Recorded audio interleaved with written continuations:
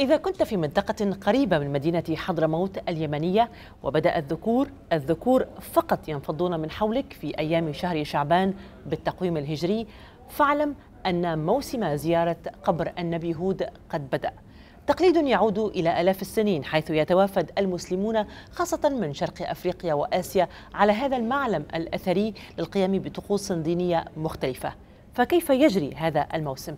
التفاصيل في تقرير طلال بحيدرة وحسين عبد القادر من اليمن. هناك مدينة روحانية لا تسكن في العام سوى أربعة أيام. أيام مليئة بالروحانية أيضا تتنوع فيها العبادات والعادات التراثية حيث المساجد والمعابد والمآثر والخدور والسوق التجاري الشعبي الكبير. فأين هي هذه المدينة التي لا تسكن سوى أربعة أيام في العام؟ وما حقيقة ما يحدث فيها؟ هذه المدينة التي تشاهدونها أمامكم لا تدب فيها الحياة إلا خلال أربعة أيام في الزيارة السنوية.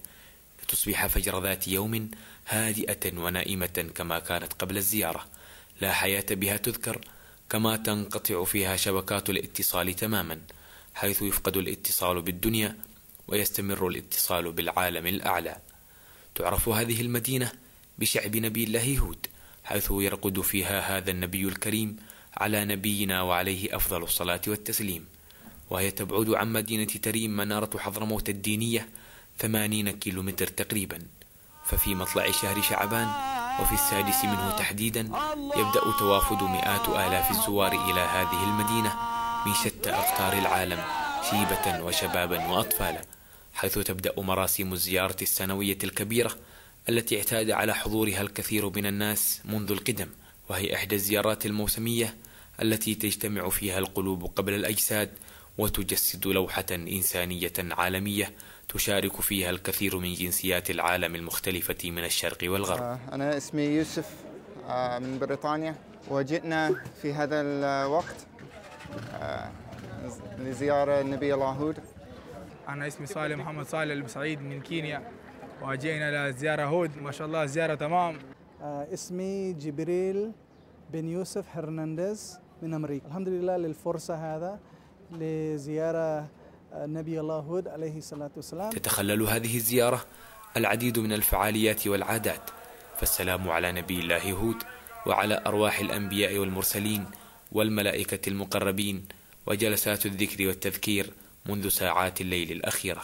تزاور وتآزر بين الزوار الساكنين في الخدور من علماء ومشايخ وأعيان وطلاب علم والخدر هو المسكن الذي يسكن فيه هؤلاء الزوار.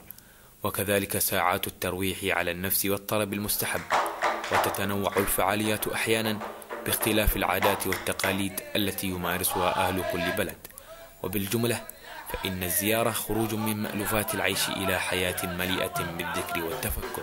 ويعمر بهذه المدينة خلال الزيارة سوق تجاري كبير. يأتي إليه الكثير من الباعة ليقدموا الخدمات الأساسية وحتى الكمالية للزائرين وينتعش السوق ببيع الكتب والملابس والعطور والبخور التي تتناسق مع المناسبة وكذلك ببيع الأكلات الشعبية المختلفة وغيرها. على البضائع كان جيد ومقبول لدينا. مما أحدث لدينا انطباعات طيبة حول هذا الموسم زيارة هود لهذا العام.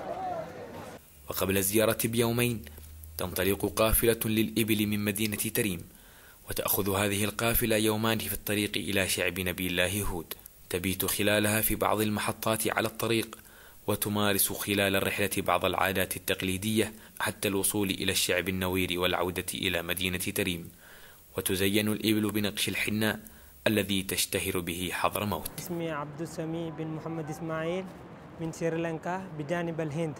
إن شاء الله أنا حضرت هذه السنة زيارة الهود. وتبلغ الجموع ذروتها والزيارة زحمتها بآخر يوم بهذه المدينة حيث يزحف الكثير من الزوار لحضور الزيارة الأخيرة في العاشر من شهر شعبان ثم يعود الزوار أدراجهم وفودا إلى بلدانهم ومنازلهم. وفي الختام أعزائي المشاهدين هذا بعض ما التقطته عدسات كاميراتنا. أتمنى أن تنال إعجابكم وتقبلوا خالص تحياتنا. نحن معدي التقرير. محدثكم طلال أحمد بحيدرة حسين عبد القادر الجفري.